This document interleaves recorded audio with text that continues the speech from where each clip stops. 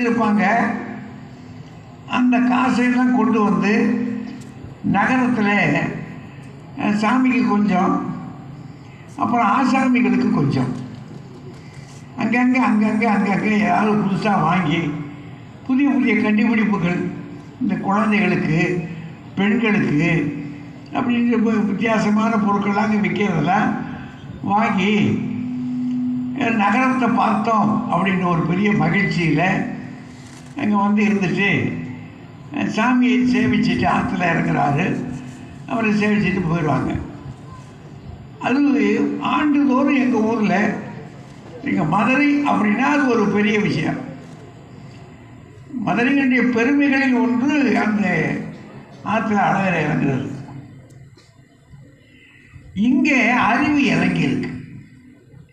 பதினெட்டு ஆண்டுகளாக ஏராளமான புத்தக கடைகள். இத்தனை புத்தக கடைகளை கொண்டு வந்து இங்கே வச்சு அதுவும் கிராமந்தோறும் பிள்ளைகளுக்கு போய் பள்ளிக்கூடங்கள் எல்லாம்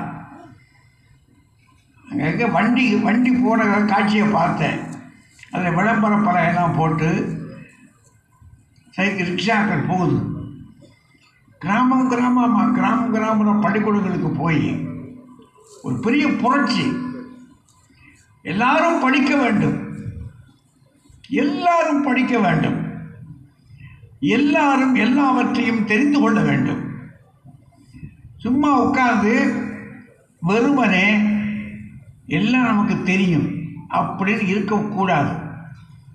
ஏன்னா உலகம் ரொம்ப பெரிதாக இருக்குது எவ்வளவு வளர்ச்சி உலகத்தில் வளர்ந்துருக்கு. முன்னே நாம் நினைப்பது போல இல்லை இப்போ.